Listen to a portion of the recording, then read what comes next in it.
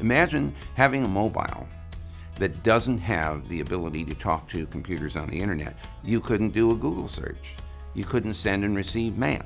As time has gone on, more and more devices have shown up on the net. They too need to have addresses as well.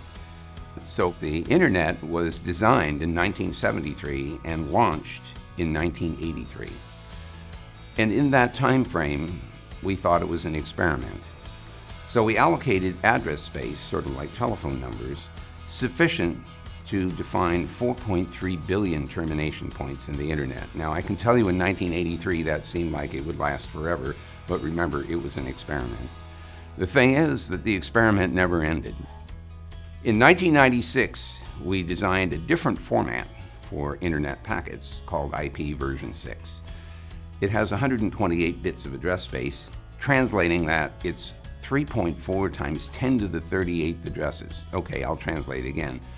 340 trillion, trillion, trillion addresses. There are already 5.5 billion mobiles in the world. If they all had internet addresses, it would exhaust instantly the IP version 4 address space, which, as I said before, is only 4.3 billion addresses.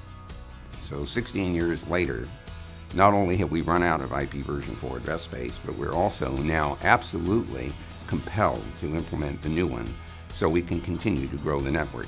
If we don't implement, what will happen is that the version 4 address space will exhaust. People will not be able to get onto the net because they won't have addresses to use. And at that point, the internet stops growing.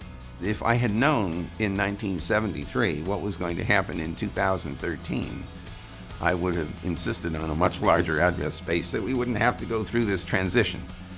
On June 6th this year, we are all, Google and others uh, on the internet, are going to turn on the IPv6 capability.